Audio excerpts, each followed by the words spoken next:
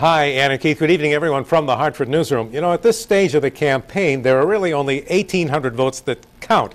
Those are the 1,800 delegates that will come to the party nominating convention next month to endorse a candidate. With the state Democratic convention five weeks away, today's debate among five candidates was really an insider's political game. 5th District Congressman Chris Murphy has raised the most money and appears to be ready to clinch the convention endorsement next month. And no one doubts that former Secretary of the State Susan Bysiewicz will easily garner more than the 15% of delegates needed to qualify for the primary in August. A former software engineer from Greenwich named Lee Whitnum and Matthew Oakes of East Hartford have raised almost no money and are unlikely to get any delegates.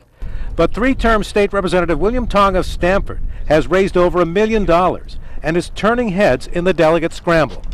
He worked as a teenager in his immigrant parents' Chinese restaurant in Hartford and eventually went to some of the nation's most prestigious schools and became a corporate lawyer. They sold a lot of egg rolls to make that happen. And um, I'm not really kidding about that.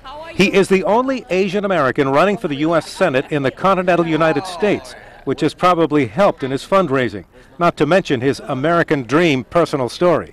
That's why I'm in this race to reclaim that dream and to show people that it's possible, that you can still go from being the son of a cook in a Chinese restaurant to the U.S. Senate. That's resonating with people in, in town committees like the, the good folks in Lyme who endorsed me the other night. In reality, his views are not that much different from the much better known Murphy and Bysiewicz. They both have long standing relationships with delegates from previous campaigns. Tong is depending on his rags to riches son of immigrant success story to set him apart. What you're saying is I'm an underdog, and, and maybe it's not my turn in this race.